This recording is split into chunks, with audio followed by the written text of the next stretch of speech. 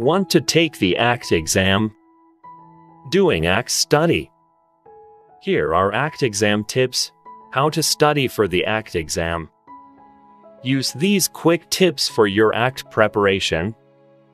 Many articles I have read provide general tips and sometimes repeat wrong ACT prep approaches.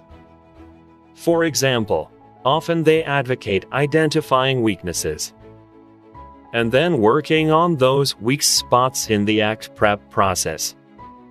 I recommend doing the opposite. Identify your strengths and improve on your strengths first to score more points.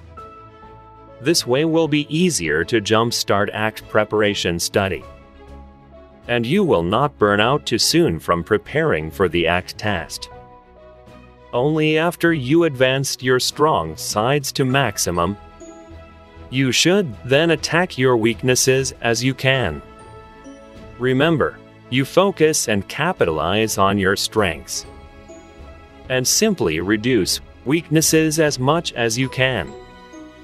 This is a more effective and natural ACT preparation approach. Another controversial approach is setting goals. I disagree with setting score goals for the ACT prep process. This is misleading at least or harmful at best. First, ACT exam prep students must learn ACT test basics. Learn the structure, fundamentals of the ACT test. Understand the ACT test well, and then start training. Learn about types of ACT exam questions and answers. And then start reading and training by doing assignments.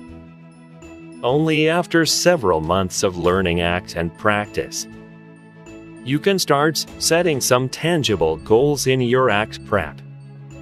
For more excellent suggested ACT study resources, check the links below in the video description.